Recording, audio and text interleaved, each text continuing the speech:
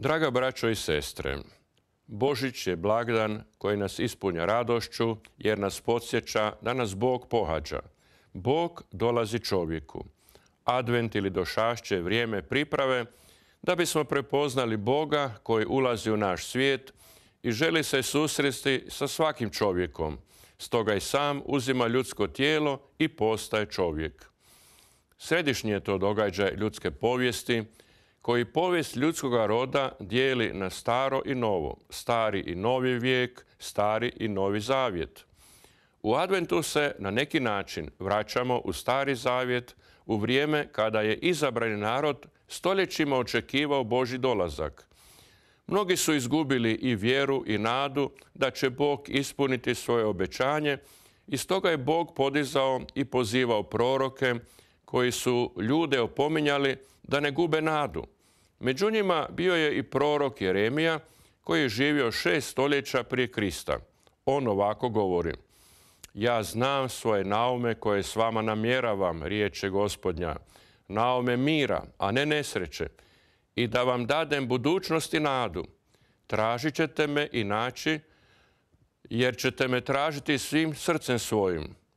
Prorok prenosi Božju riječ u kojoj potiče svoje suvremenike da ne izgube nadu i da ulože napor tražeći Boga u svojem životu i u svojem vremenu.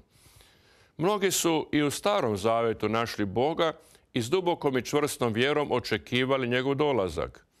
Nije li to poruka i za svakoga od nas koji živimo već 2016 godina nakon radosnog događaja u Betlehemu, kojeg raspjevano i svečano slavimo svake godine 25. prosinca?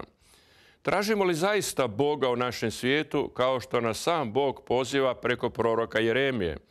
Tražit ćete me i naći jer ćete me tražiti svim srcem svojim. Potrebno je tražiti svim srcem, a to znači uložiti puno ljubavi u traženju Boga. Sveti Ivan zapisuje u svojem evanđelju jednu žalosnu rečenicu.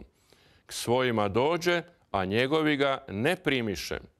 Može li biti veće tragedije za čovjeka nego ne prihvatiti Boga koji je sama dobrota, sama ljubav i samo milosrđe? A to bi nam se moglo dogoditi i osjećamo kako se to često događa i zato u adventu molimo. Svemogući, milosrdni Bože, dok hitimo ususret Tvome Sinu, daj da nas zemaljske obveze i brige ne smetu. Nebeska mudrost Tvoje riječi neka nas uvede u zajedništvo njegove sudbine. Svi mi imamo ovo zemaljski obveza i briga koje nas često pritišću. Siromašni smo, možda nemamo najsnovijih sredstava za život.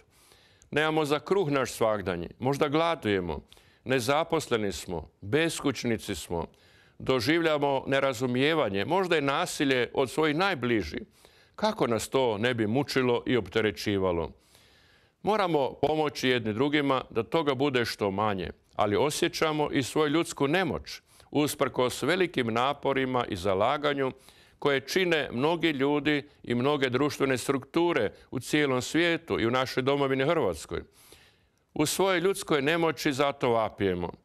Ne dopusti da klonemo od umora i bolesti dok čekamo dolazak Tvoga Sina koji nam vraća snagu i zdravlje. Želim svima i molim da nam novorođeni knez mira učvrsti nadu i neka nas svojim svjetlom iz Betlejema vodi kroz tmine zemaljskog života prema sigurnoj budućnosti. To vam od srca želim uz ovogodišnji Božić i nastupajuću novu 2017. godinu.